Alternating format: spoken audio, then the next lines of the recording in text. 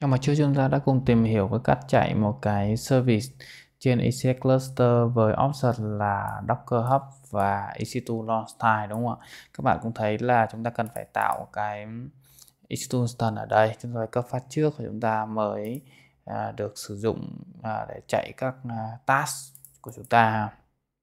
Thì đó là cái à, cái option đầu tiên. Option thứ hai chúng ta sẽ chạy dạng là Fargate ha. Thì Fargate này là một cái gọi là serverless compute hỗ trợ chạy trên container của AWS thì không chỉ hỗ trợ ECS mà hỗ trợ cả EKS ha, Elastic Kubernetes Service trên AWS thì cái phần này sẽ giúp chúng ta đơn giản hóa cái việc phải à, tạo EC2 rồi update cài những cái phần mềm phụ thuộc nữa thì nó rất là dễ thì trong phần này thì chúng ta sẽ cùng tạo à. thì để tạo này chúng ta sẽ uh, quay về chúng ta sẽ tạo một cái task definition à. chúng ta sẽ tạo một cái task definition ECS uh, mình sẽ đặt tên ở đây là ECS uh, task definition uh. chúng ta cũng sẽ tạo cái uh, ECS uh, demo Việt AWS uh, ECS 2.v2 uh các bạn có thể nếu mà các bạn không không có build được cái phần à, code phần doc, doc, docker này các bạn có thể dùng cái à, docker của Kevin vina các bạn có thể tạo ở đây. VTMS uh, ECS 2.v2 các bạn dùng được. Rồi chúng ta sẽ tiếp tục dùng port à, uh, 8080 nha như bình thường thôi. Rồi chúng ta các thông số khác để mặc định. Rồi chúng ta sẽ chọn là option là Fargate và Servlet ha. À, CPU chúng ta cũng sẽ chọn là 0.5 thì cái phần này nó có một cái hay là khi các bạn à, chọn sang Fargate thì các bạn sẽ có những cái option cho CPU và RAM dạng select, select choice lựa chọn còn đối với à, khi các bạn chọn EC2 lần trước đó các bạn thấy không ạ? Chúng ta không có chọn chúng ta phải nhập số 0.5 0.25 rất là cực đúng không ạ? Thì cái này nó sẽ giúp cho các bạn à, tiện lợi hơn ví dụ như là các bạn có thể chọn 0.25 À, 0.5 cho nó tiết kiệm à, chi phí nha. lưu ý các bạn chạy cái bàn pha ghét này nó sẽ phát sinh chi phí nếu mà tài khoản các bạn à, à, tài khoản các bạn mà không có phần credit trước ha. nó không có trong phần phí tiền các bạn lưu ý tương tự thế chúng ta có thể ép cái phần uh, container size à, nhưng mà cái phần này chúng ta lại không có gvu ha thì cái này là cái này chính là một trong những cái mà các bạn à, đôi khi các bạn cần phải sử dụng Isito đôi khi các bạn sử dụng Fargate nếu dùng web thông thường email thông thường các bạn có thể dùng à, dạng Fargate này rất tiện. Rồi task execution role và task role trong phần này mình sẽ để à, như cũ ha task role mình để nó không có. À, tại vì mình không có hay gọi dịch vụ nào giả sử DynamoDB hay là SNS chúng ta không gọi hết nào chúng ta chỉ dùng cái um, cái task execution role mặc định thôi rồi à, cái này lưu ý là khi mà chúng ta chuyển sang xài Fargate thì tại vì Fargate là servlet ha chúng ta sẽ chỉ có một cái mode. Nếu gục mode duy nhất thôi là AWS VPC ha. À, thì chắc có lẽ cái mình sẽ làm một bài riêng về nếu gục mode là các bạn. Phân biệt giữa các mode này của AWS có bốn loại mode này VPC này brick này rồi host và nông à, thì các bạn có thể đọc này. Nếu mà trường hợp các bạn đọc hoài các bạn không hiểu thì thì cái bên mới làm cái bài so sánh đó rồi chúng ta sẽ xem dùng cái option duy nhất đây là VPC AWS uh, à, storage chúng ta sẽ không có dùng chúng ta sẽ để mặc định. Monitoring chúng ta sẽ để à, mặc định luôn. Chúng ta sẽ thu thập các thông tin liên quan đến cái task definition này sử dụng à, cũng rất là hay đúng không ạ? Rồi phần khác chúng ta sẽ để mặc định là chúng ta sẽ để cái phần task này chúng ta sẽ để là à, project ha tại vì cái phần này sau này giả sử các bạn muốn à, xem những cái báo cáo chi phí liên quan dự án dự án ECS này, các bạn có thể dễ dàng thông qua cái cost allocation tag trên billing của AWS rồi, chúng ta sẽ chọn create. Rồi, các bạn, chúng ta đã có hai cái task một cái task target, một cái task TD là cái EC2 ban đầu của chúng ta. Nó quay về cái cluster chúng ta. Và chúng ta sẽ chạy một cái service rồi, chúng ta sẽ chọn launch time launch time, chúng ta, lần là chúng ta sẽ chọn target thì khi chọn Fargate này các bạn chọn, chọn việt hy vọng các bạn đã hiểu sơ việt và task trong qua cái bài trước rồi. Mình sẽ không lặp lại nữa. Mình sẽ chọn Fargate ở đây ha. Chọn version 1 ha. Mình sẽ ghi là demo Fargate FVC FVC là service ha. chọn là một là một task ha. Đó. À, các option khác mình sẽ để mặc định à, có một cái phần này quan trọng này networking này. Nó có thêm cái phần networking này ha. Networking là khi mình đặt cái task này vào trong cái subnet nào của hệ thống mình ha. Thì các bạn nhớ này cái PVC chúng ta này à, mình sẽ à, mình sẽ clear cái này đi ha mình sẽ.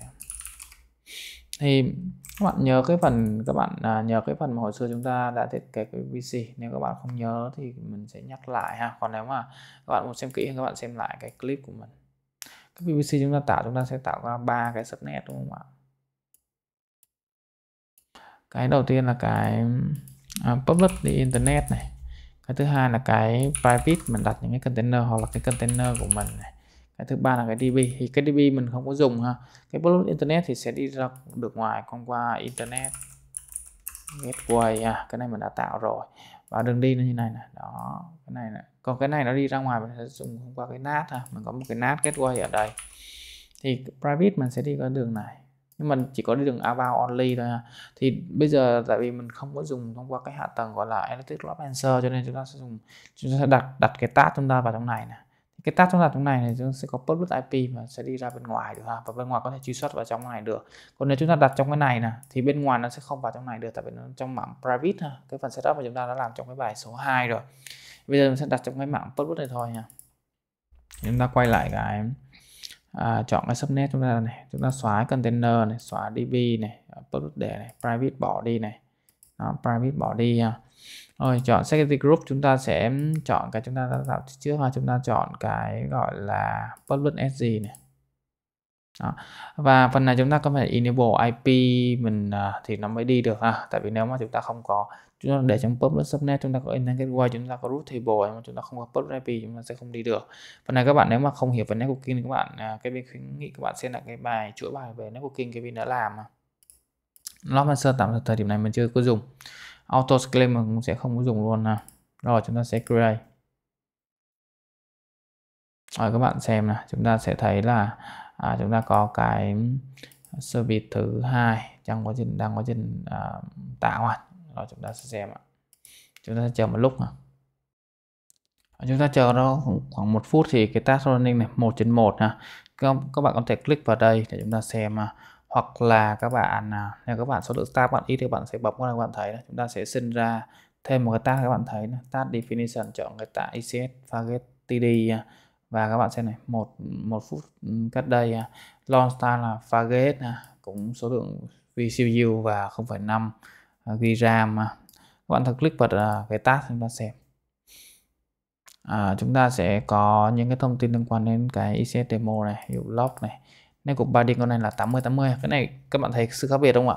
Um, khi mà chúng ta map bằng cái Fargate thì chúng ta chỉ có một cái mode duy nhất thôi đó là cái PVC thì khi chúng ta map vào cái à, cái dạng PVC ADS PVC này thì mỗi một cái task nó sẽ chạy một cái IP và một cái IP coi như là một cái host luôn. Thì nó sẽ sinh ra một cái địa chỉ IP độc lập ha. Nó sẽ nó sẽ dùng cái địa chỉ IP của cái của cái subnet đấy giả sử subnet của mình là ừ, triển khai tên đúng không ạ? Nó sẽ dùng cái IP à, cứ một cái này nó sinh ra một IP ha. À. còn đối với cái cơ chế brick như phần trước là các bạn là tất cả các các các cái à, tất cả các cái à, task nó chạy trên một container dùng chung cái ip của cái host luôn. Còn cái con Fargate này nó xài sẽ thoải mái là cứ một cái task sẽ chạy một cái IP cho nó sẽ mark cái địa chỉ IP port nó sẽ là địa chỉ đẹp luôn à. Và tất nhiên Fargate thì các bạn sẽ không thể chui vào trong cái Fargate container để các bạn xem log hay là kiểm tra các process như con EC2 được tại vì cái phần này là phần servlet rồi mình sẽ không có phần uh, mình không phải lo lắng với phần quản trị hạ tầng nữa. Thì chúng ta em mà chúng ta không có dùng trong bài này ha. Đã xem chúng ta là cái public IP này. Rồi bây giờ chúng ta sẽ thử port 8050 ha. Đây, hello v2 à, chúng ta đã chạy được cái này rồi thì trong cái phần này các bạn có thể xem cái phần log nữa ví dụ log ở đây là các bạn xem này node.js này hello root chúng ta có một cái ha. Chúng ta hit thêm cái nữa ha. Rồi. Thì cái log này nó sẽ đôi khi nó sẽ không có hiển thị à, một cách real time nó sẽ có thể bị chờ một lúc tùy thuộc vào cái, cái app của mình. Này hai lần hit và nó sẽ sinh ra hai cái hello root ha. thì đây là cái hay rồi các bạn coi phần này cooking này nó sẽ sinh ra mỗi một cái này mỗi một cái tag nó sinh ra một cái địa chỉ IP khác nhau. Ví dụ đây là 10.0.1.1.91 nè tag là execution role này public IP này đó. Bây giờ mình sẽ thử uh, chạy thêm một cái task nữa để các bạn hình dung uh, nó sẽ nó sẽ như thế nào. Mình sẽ sửa cái service uh, cái get service chúng ta chúng ta sẽ update chúng ta sẽ chọn là uh, hai. Rồi à, chúng ta sẽ chờ một lúc để nó sẽ spin up lên thêm một cái task nữa ha chúng ta thấy hai cái task đang chạy và cái Fargate service chúng ta rồi chúng ta click và chúng ta xem ha. Chúng ta có thể thấy ở đây này những cái thông tin liên quan đến CPU utilization à, ví dụ như là 14 phần trăm là các bạn thấy có một cái data point ở đây. Memory utilization là chúng ta thấy những cái thông số ví dụ như là à, tối thiểu này tối đa này và trung bình à, trung bình ví dụ như có ở đâu đó chưa tới 10 phần trăm mà rất là thấp mà tại vì cái web cái container cái Microsoft chúng ta quá đơn giản. À, chúng ta xem phần à, log. Chúng ta xem thấy log mà chúng ta có hai cái hai cái task nó đang chạy trên đây những cái log này chúng ta xem ở đây. Thì cái log này các bạn có thể xem ở trong cloud log nữa à, trong phần cấu hình chúng ta. Nên à, khá là tiện lợi khi chúng ta dùng với Fargate. Các bạn thấy chúng ta có hai cái task đây không ạ? Chạy cách đây khoảng 2 phút này. Các bạn sẽ click vào đây thì lúc ấy cái con server chúng ta là 91 đúng không ạ? Giờ nó lại sinh ra là à, chấm 2 chấm 145 à, tại vì chúng ta chạy trên hai cái hai cái subnet là public à, uh, AZ1 và AZ2 AZ1 và AZ2 thì mỗi một cứ một cái task nó sinh ra một cái IP cho nên là nếu các bạn uh, dùng cái mô hình mà VPC này các bạn phải cân nhắc rằng uh, nếu mà chúng ta chạy càng nhiều cái task á, thì số lượng IP trong cái subnet chúng ta sẽ càng càng nhiều mà. Nên các bạn thiết kế cái vị cái subnet các bạn sẽ cần phải cẩn thận nên mình sẽ copy cái này ha. Chúng ta có con này là con à, trước đây rồi. À, cái con mà cái task 1 đó bây giờ mình sẽ chạy cái task 2 anh nó sinh ra cái task 2 thì thì các bạn thấy không ạ? Cứ một cái task ví dụ cái cái à, demo Fargate service này nó có hai cái task. Thì một cái task nó sẽ nó sẽ dùng một cái IP public IP này và nó chiếm uh, một cái private IP là một cái địa chỉ IP ở trong cái subnet chúng ta thì cái cái target này các bạn thấy đơn giản không ạ à, chúng ta chỉ việc là tạo task definition rồi tạo service tự động scale chúng ta không phải lo vấn đề về EC2 không lo vấn đề về scaling không lo vấn đề về bộ ờ, bộ nhớ của con EC2 chúng ta hết ha cho nên là cái loại này là cái loại mà à, rất nhiều à, rất nhiều người thích thích thú sử dụng cho những ứng dụng thông thường phổ biến ha. nếu không cần phải lo lắng về vấn đề à, phải cài những cái gói đặc thù ở trên con EC2 ha. thì hy vọng qua bài này các bạn đã hình dung được cái cách mà chúng ta thông thường chúng ta sẽ sử dụng uh, với Fargate và EC2 style ha. thì trong bài tiếp theo thì chúng ta sẽ cùng thảo luận là à, nếu mà chúng ta sẽ sử dụng cái launch style à, là EC2 và Fargate thì cái tính tiền cái tính chi phí nó như thế nào à